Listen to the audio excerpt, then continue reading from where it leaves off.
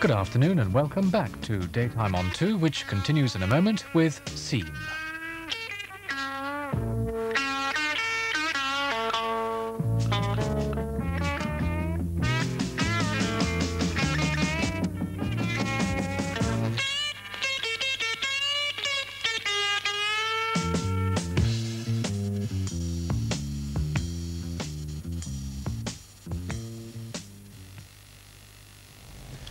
Daytime on 2. Now Scene, which is a special repeat of the much acclaimed programme A Guide to Armageddon, first shown in the series QED, about the likely effects of a nuclear bomb dropped on a city the size of London.